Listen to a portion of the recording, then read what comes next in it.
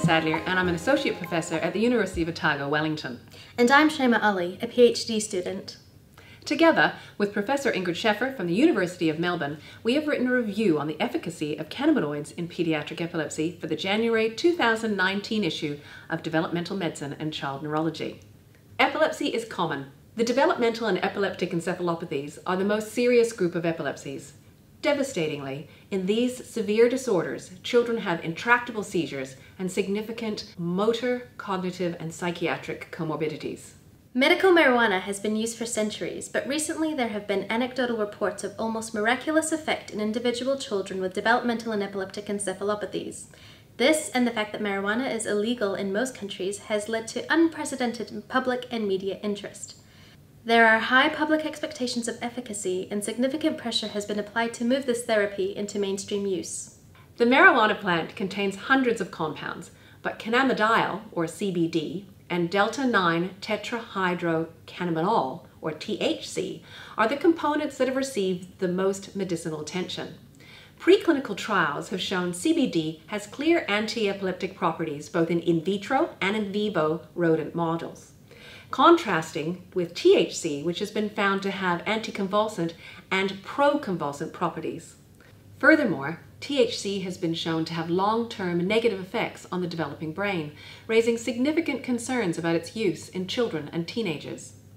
In the last year, there have been three randomized placebo-controlled double-blind trials of CBD in a total of 516 children and adults with developmental and epileptic encephalopathies, specifically Dravet and Lennox-Gastaut syndromes.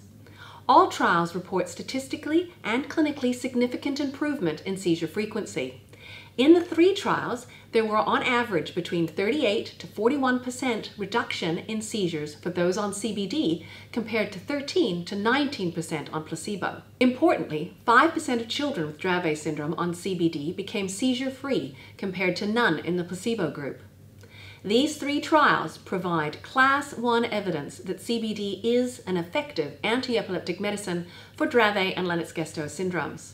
The efficacy, however, was not miraculous and was similar to what has been found in other anti-epileptic drug trials in these cohorts. More than 250 children and adults with epilepsy have been administered CBD in these trials. CBD is tolerated to a similar degree as other antiepileptic medications. The most commonly reported adverse events include somnolence, diarrhea, and decreased appetite. Somnolence requires careful management, particularly if the patient is also receiving clobazam, as the levels of clobazam and its metabolite norclobazam increase with CBD administration. Decreasing the clobazam dose can help manage the side effect. Because of the demand for medicinal marijuana for epilepsy, a variety of different products are becoming available. Many of them are marketed as health supplements, and the manufacturing quality of these products is highly variable. Pharmaceutical grade products, such as those used in the Class 1 trials, should be used so that the individual and their doctor can be confident of both the ratio of CBD to THC and the amount of CBD in each prescribed dose. More research is required to define the breadth of pediatric epilepsy syndromes for which cannabinoids may be effective. With further Class 1 trials, the place of cannabinoids in our anti-epileptic armamentarium will become clearer. Thank you for your interest in our review article.